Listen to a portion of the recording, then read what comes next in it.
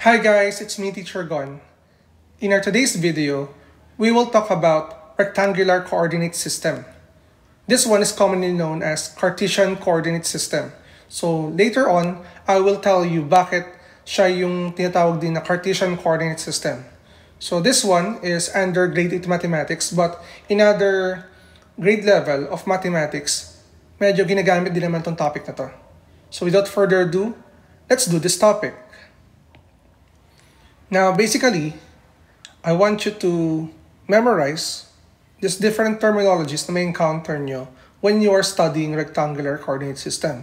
So, in this video, I will teach you about the x-axis, the y-axis, the origin, the quadrants, the abscissa, and the coordinate. So what is the meaning of these terminologies? Let's start with the x-axis x-axis is considered as the horizontal number line. Again, it is the horizontal number line. So sir, where is the x-axis? So x-axis is located here. This is your x-axis.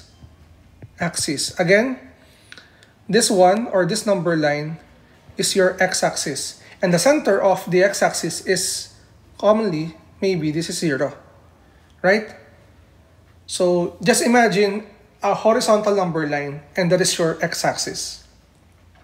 Now, how about the y-axis? So let's, let's go with the y-axis. This is your y-axis. Sir, how can you define y-axis? Simple lang naman, since yung ating x-axis is the horizontal number line, ito namang ating y-axis is considered as the vertical number line. And again, the center of the y-axis is also 0. So I hope na na gets nyo na yung point ng x-axis and the y-axis. So you have the horizontal and the vertical number line. So we're done with the second and first terminology. Let's move on with the third one. How about, sir, yung origin naman natin? When we say origin, it is the center of the rectangular coordinate system o yung tinatawag nating Cartesian coordinate system. Bakit siya tinatawag natin center?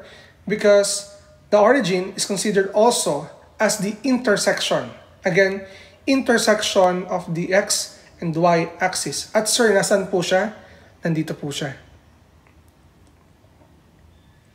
And when we talked about the origin, ang kanyang coordinates ay 0, comma 0. Later on, we will talk about the coordinates of a point. So, yan. And then, the, the fifth one, sorry, the fourth one is yung tinatawag nating quadrants. So, when we say quadrants, it is the four equal regions in a rectangular coordinate system that is created when the x-axis and y-axis intersected each other. Okay? Again, quadrants are the four equal regions created when the x and y axis intersected each other. So, sir, nasan po sila? So, these are the quadrants. Itong part na to, ito, ito, ito. Okay? So, meron tayong mga specific names for those quadrants. At yung quadrants natin, this is your quadrant number 1. Sir, how about quadrant number 2? Yung pag-number ng ating quadrants, ang movement niya ay counterclockwise. Pag ganito. Ganyan counterclockwise. Meaning, if this is your quadrant number 1, your quadrant number 2 is here.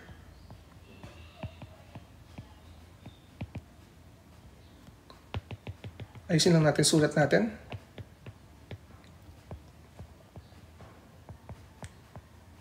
Quadrant number 2. Next, your quadrant number 3 is located here.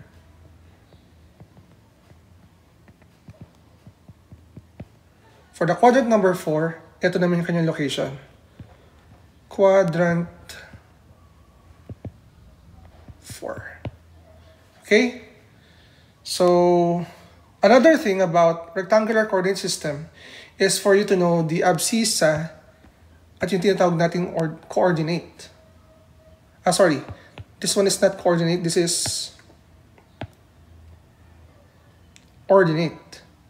Now, ano yung ibig sabihin ng abscissa at ng ordinate? So basically, as you can see, yung ating origin kanina ay meron siyang coordinates na 0, 0.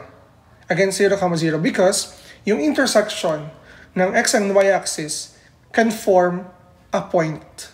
At ang bawat point natin dito ay meron silang tinatawag na coordinates.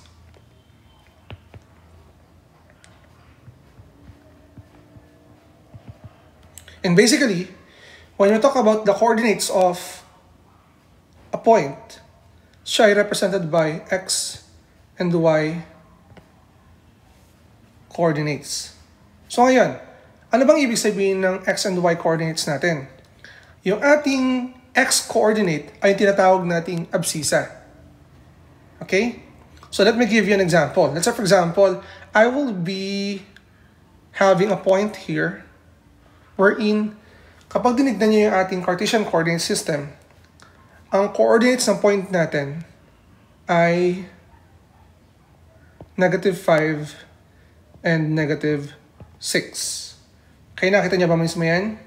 Negative 5 and negative 6. Ang tawag dito sa number na to, ito yung tinatawag nating x-coordinate or mas kilala siya bilang abscissa. Yung atin namang negative 6, it represents the y-coordinate. Siya yung tinatawag natin ngayong ordinate. Okay? So, paano, paano ko nalaman na ang, ang kanyang coordinates ay negative 5 and negative 6. Una, una nyo kailangan tignan ay yung inyong x-axis. Look at this one. This point, nakatapat siya sa negative 5. So that is your x-coordinate.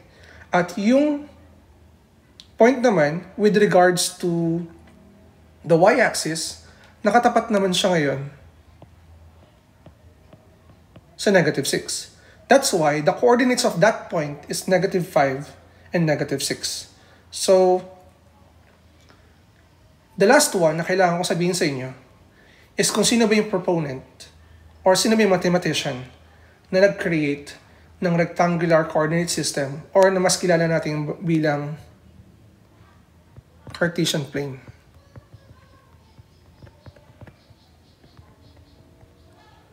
The mathematician behind this um, awesome thing of rectangular coordinate system is none other than Rene